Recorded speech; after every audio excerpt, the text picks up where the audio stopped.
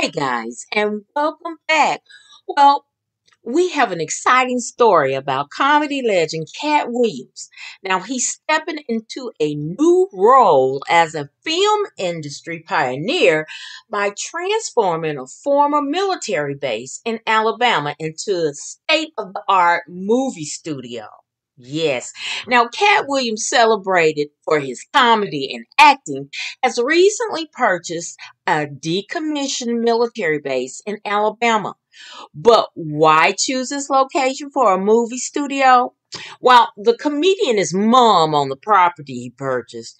Fort McClellan's Cold War era barracks in Anniston has been up for sale at a $1.5 million asking price.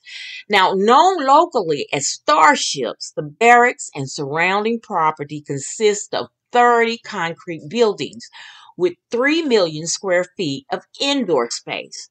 Now, there are 10 barracks with 20 rooms each, two large gymnasium, and more than 90 acres of usable flat land on the old Fort McClellan site. Now, Williams envisions his studio as a hub for creative and innovation. Not just about making movies, it's about boosting the local economy and creating jobs. hmm Now, this project could bring a significant economic boost to the community, attracting talent and resources. Now, with this initiative, Katt aims to put Alabama on the map as a key player in the film industry.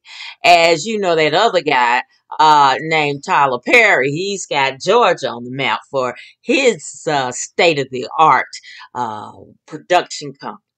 Now, in the GQ interview Katt Williams did earlier, he told GQ he has ambitions of becoming a movie mogul a la Perry. now, he said it's just not fair to put all that pressure on Tyler Perry. He can only do so much. so, what does the future hold for Katt? This studio could lead to more productions choosing Alabama, increased tourism, and a vibrant local art scene. Now, Katt Williams is not just investing in the studio, he's investing in the potential of Alabama as a creative powerhouse. Well, hey, I wish you all the luck in the world, Katt. Y'all know that I'm a Katt fan. I y'all better not say nothing about Katt Williams. Mm-mm, not let me hear it. See, I just did a video on uh, Miss Pat was on Club Shay Shay and was talking about how Katt paid for her father's funeral, you know, without even her asking. He just gave her cash money. You know, and, and, and I said, Katt does so much for so many people and you don't know it.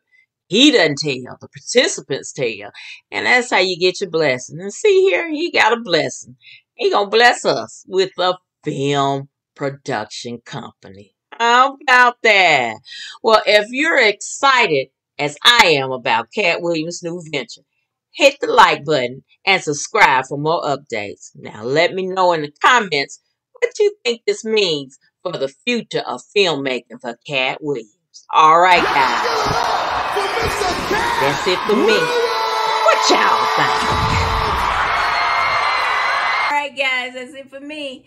Thank you so very much for watching. And I hope you will like, share, and subscribe to my channel. And as always important, be bless y'all.